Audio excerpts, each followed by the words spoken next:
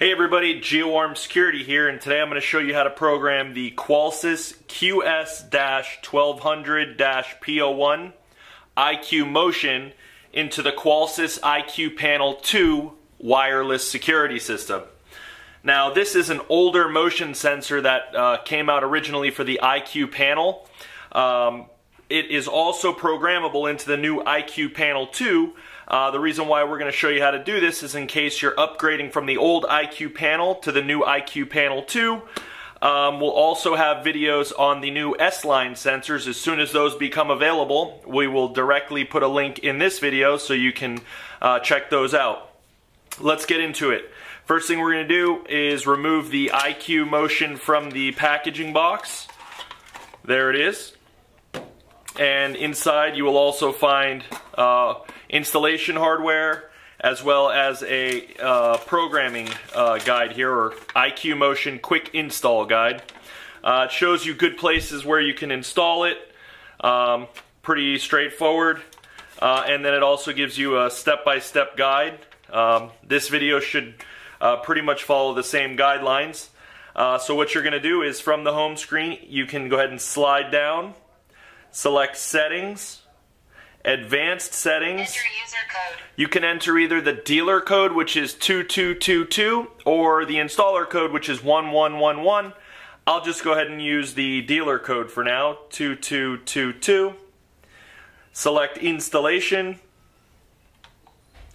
devices, security sensors, and you can either auto learn the sensor or you can just add the uh, DLID uh, which is located on the back of the uh, of the motion sensor, which you could see right here, DL. Um, I like to just auto learn it uh, for these purposes, so select auto learn. Now, all you want to do is put, depress the tab on the bottom, slide off the back, and you'll notice a little uh, battery strip here. So you simply just remove that, give it a few moments, and it will learn into the panel. The motions seem to take a little bit longer, uh, but based on the fact that the motion is lit, we know that the batteries are installed correctly.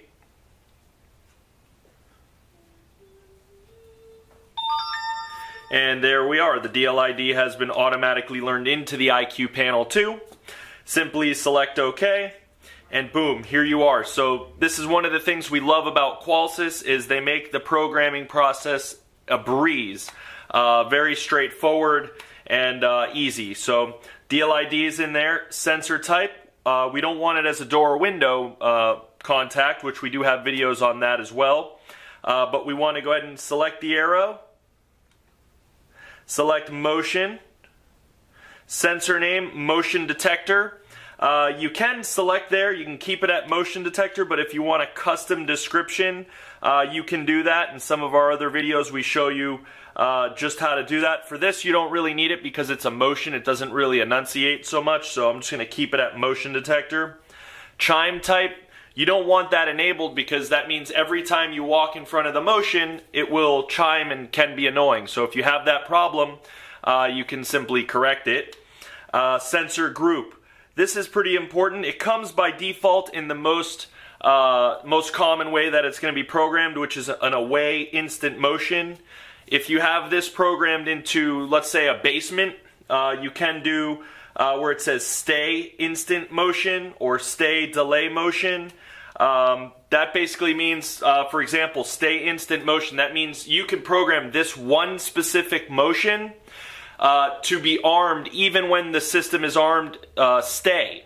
So um, that basically means if someone, you know, anytime the system is armed, you can't go into your basement even when you're home because that'll set the alarm off.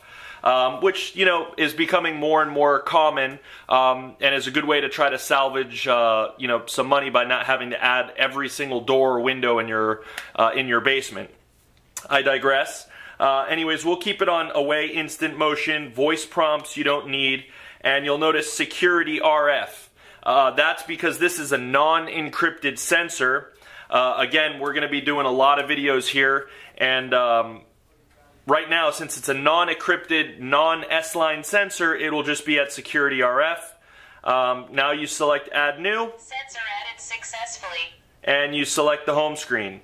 Uh, now you would just follow the installation guidelines. Uh, if you need any help, of course, during the activation process, we can assist you.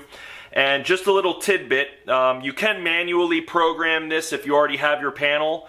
Uh, but one thing to keep in mind is that uh, with this Qolsys IQ Panel 2 and its Alarm.com uh, interactive alarm monitoring integration, uh, GeoArm is actually able to program the DLID for you remotely on your activation appointment. So this is one of the greatest panels ever released. Can't say enough about it. Um, again, make sure to uh, subscribe to our YouTube page. And that's how you program the Qolsys QS-1200-P01 IQ Motion into the Qolsys IQ Panel 2 wireless security system.